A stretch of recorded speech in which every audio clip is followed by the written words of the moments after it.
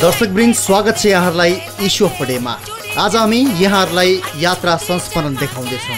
सन् दुई हजार तेह्र जुन सात तारिकदेखि जुन एघार तारिकसम्म प्रजापति ब्रह्मकुमारी ईश्वरीय विश्वविद्यालयले हामी नेपालका उन्नाइस मिडियाकर्मीलाई मिडिया कन्फरेन्समा भाग लिन भारतको राजस्थान प्रान्तको माउन्ट आबु हिल स्टेसनमा बोलाएको थियो। विषय थियो शान्ति र हिंसा रहित समाज स्थापनाका लागि मिडियाको भूमिका।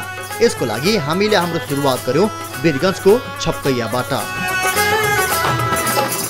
स्वागत छ यहाँलाई सुपुडीमा आज हामी अब यात्रा सुरुवात गर्दैछौँ र अहिले हामी वीरगन्जको छपकैयामा ब्रह्मकुमारी राजयोग सेवा केन्द्रमा रहेका छौँ र आजबाट हाम्रो औपचारिक रूपमा भारतको स्टेट राजस्थानको माउन्ट आबुको यात्रा सुरु हुन गइरहेको छ र यहाँबाट हामी सबभन्दा पहिला रेलको यात्रा गर्नेछौँ।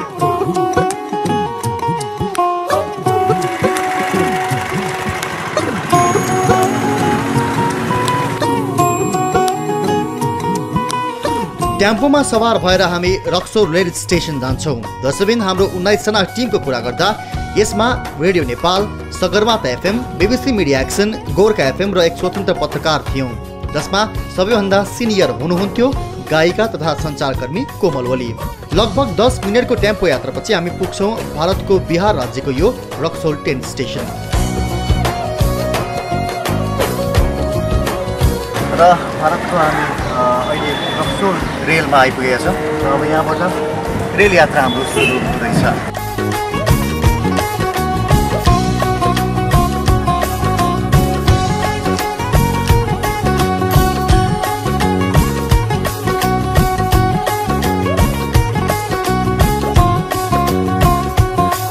फाइनली अब रेलको यात्रा सुरु हुन लागेको छ। Let's get inside the rail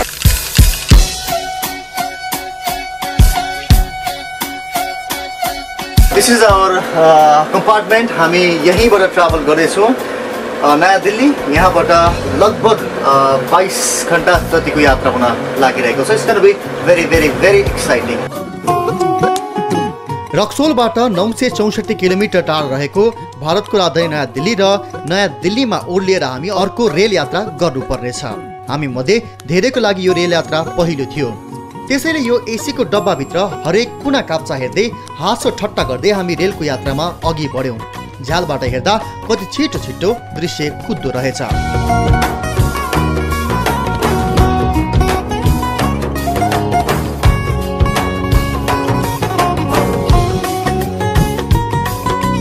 रेलमा आएपछि त्यहाँबाट ढोका खोलेर बाहिरी दृश्य हेर्ने गर्दा रहेछन् प्राय सबैले।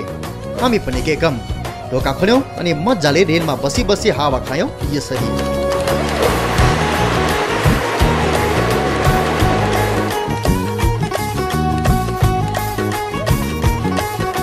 रेलको यात्रामा अलि ठुलो ठुलो स्टपमा दस मिनट जति रेल रोकिँदो रहेछ। त्यो बेला मानिसहरू बाहिर गएर केही किनेर खाँदा पनि रहेछन्। हामी पनि रेलबाट ओर्दै बाहिरी मजा लिन थाल्यौँ। राजस्थानको माउन्ट आबुको यात्रा हो यो। र अहिले हामी एउटा छौँ र आई गेस दस मिनट जतिको यहाँ फेरि हाम्रो यात्रा जारी रहन्छ। यो यात्रा बाइस घन्टाभन्दा लामो थियो। त्यही भएर केही सुतिरहेका थिए भने केही मजाले गफगाफ गरिरहेका थिए।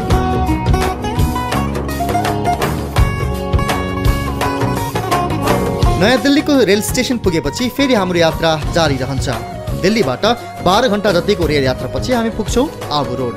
छ सय चौतिस किलोमिटरको रेल यात्रापछि हामी आबु रोड पुग्यौँ जहाँ हामीलाई बस लिनको लागि तयार भएर बसेको रहेछ।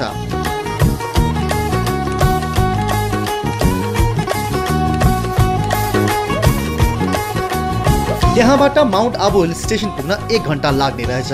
यति लामो थकानका कारण हामी कति त बसमै निदाउन पुगेछौँ। त्यस्तै कोही माउन्ट आबुको दृश्य हेरेर रमाइरहेका थिए।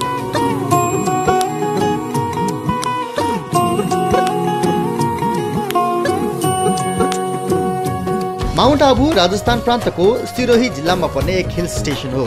गुजरात प्रान्तसँग जोडिएको यो ठाउँलाई मरुभूमिको हरियाली ठाउँ भनिँदो रहेछ। यसको कारण के हो भने अधिकांश भूभागमा बालुवा हुने राजस्थानमा यो माउन्ट आबु भने यस्तो ठाउँ हो जहाँ खोला ताल झरना र जङ्गल समेत पाइन्छ।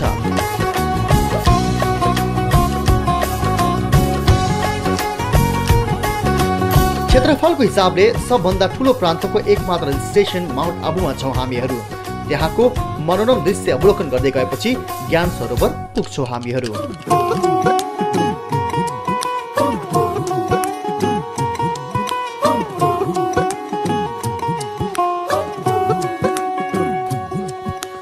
सबैजना निकै भोका आएका थियौँ। त्यसैले हतार हतार सामान राखेर हामी भोजनका लागि पुगिहाल्यौँ। भोजन गृह त कायदाको रहेछ। पुरै शाकाहारी खाना। त्यो पनि लसुन प्याज बिना।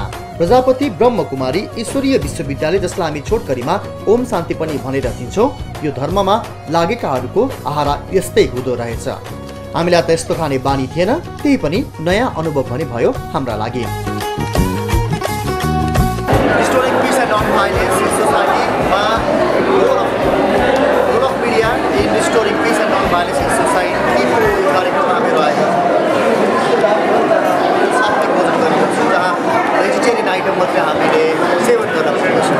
भोजन पश्चात हामी यो पाँच दिने सम्मेलनको उद्घाटनमा जान्छौँ।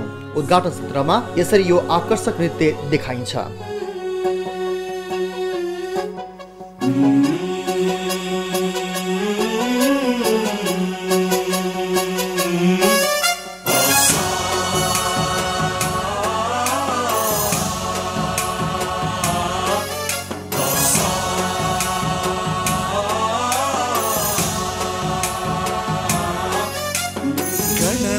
गणनायकाय गणदैवताय गणाध्यक्षाय धीमहि। गुणशरीराय गुणमण्डिताय गुणेशानाय धीमहि। गुणातीताय गुणाधीशाय गुणप्रविष्टाय धीमहि।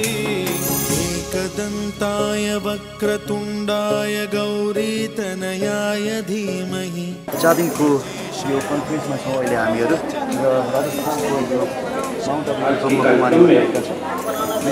एन्ड भाइलेन्स सोसाइटी अर्थात् संसारको शान्ति र अहिंसा समाजमा पुनर्स्थापना गर्ने यो बारेमा कार्यक्रम भइरहेको छ र न्युज टाइमको टेलिभिजन मार्फत हामी तपाईँहरूलाई यहाँको कार्यक्रमबारे प्रस्तुत जानकारी दिइरहेको छौँ।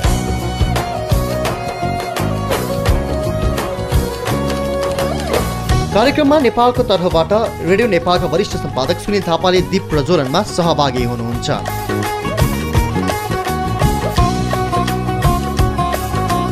यो पाँच दिनको बसाइको क्रममा धेरै ज्ञान प्राप्त गर्यो हामीले तर त्यो कुरा भन्दा पनि उक्त पाँच दिन मध्ये एक दिनको कुरा गर्दैछौँ जहाँ सांस्कृतिक कार्यक्रम देखाइएको थियो। भारतको विभिन्न प्रान्तबाट आकर्षक नृत्यहरू यसरी देखाइएको हुन्थ्यो जुन देख्दा राजस्थान कति धनी छ आफ्नो कला र संस्कृतिमा भन्ने देखिन्थ्यो।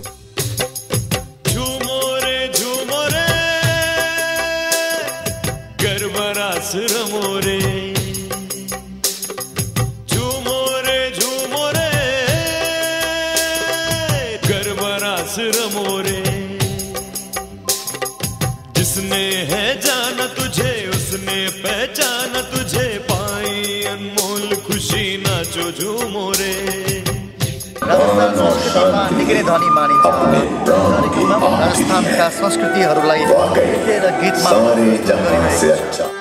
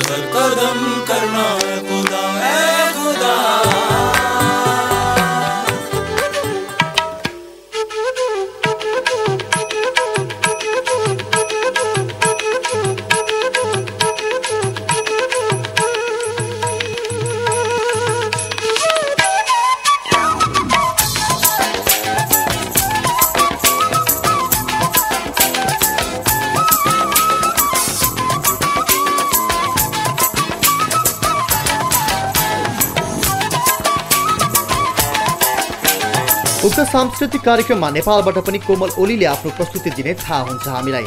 अनि त झन् एक्साइटमेन्टको पारा चढ्दै जान्छ अनि म लाग्छु ब्याक स्टेजतिर राजस्थानको माउन्ट आबुमा छौँ हामीहरू र अहिले राजस्थानमा यहाँ राजस्थानी कल्चरल डान्सहरू यहाँ देखाइरहनु भएको छ र केही बेरपछि हामी नेपालीहरूले पनि आफ्नो कल्चरल डान्स अर्थात् सांस्कृतिक नृत्य र गायन कला प्रस्तुत गर्दैछौँ र रोकन कोमल ओलीजीले केही क्षण पश्चात यहाँ प्रस्तुत गरेको छ हाम्रो नेपाली कल्चरलाई त्यहाँ प्रस्तुत गर्नुहुनेछ र अहिले हामी स्टेजमा रहेका छौँ।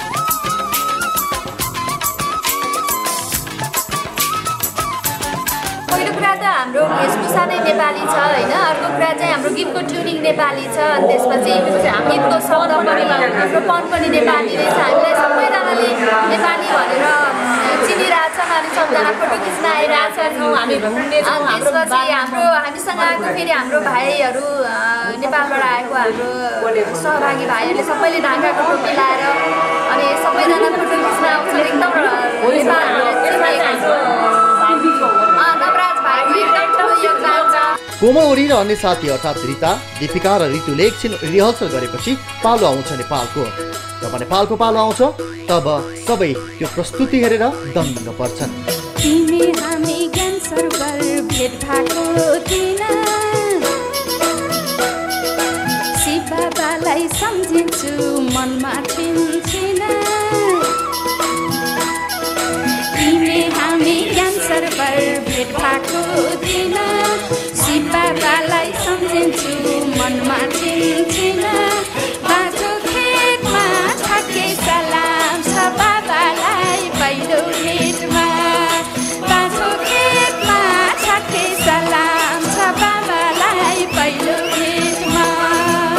यसरी ओली छाउँछिन् र मजाले उनको तारिफ हुन्छ। त्यहाँ उपस्थित सबैजसो पत्रकारले कोमल ओलीको गायन र अन्य साथीको नृत्यको तारिफ गर्छन् भने कतिले त कोमल ओलीलाई नेपालको लता मङ्गेशकर पनि भन्न पछि पर्दैनन्।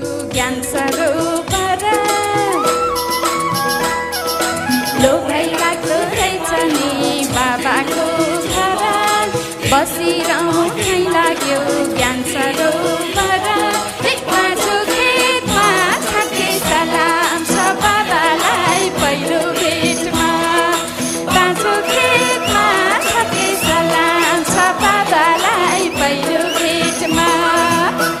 दर्शकबिन अब हामी एक ब्रेकतिर जाँदैछौँ र ब्रेक पश्चात हामी माउन्ट अबुकको अब केही स्थान घुमाउँदैछौँ।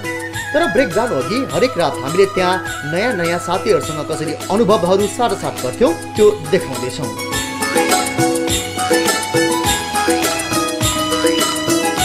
ये जवानी है दीवानी का डायलॉग इनका तो जवानी और दीवानी तो खत्म हो गया।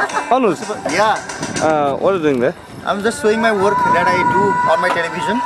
You work? Sharing my experience. Oh, you, you've been Since I'm an promo- you've been promoting yourself now, No, no, right? no. Since I work on television, Okay. now this is in Nepali. Oh my god. खाली छे air hostess बन्नका लागि आएपछि language खाली language हुँदा है मगर कति इराद ना विजिट खाली हुँदा नै Next. तुमके चाहिए अगर नेपाल में आए Most of the people are interested in his work, right? Seems so. तो विज्ञापन है शहरी पेड़ हम यहाँ पूजा के लिए आए This is also bullshit ad.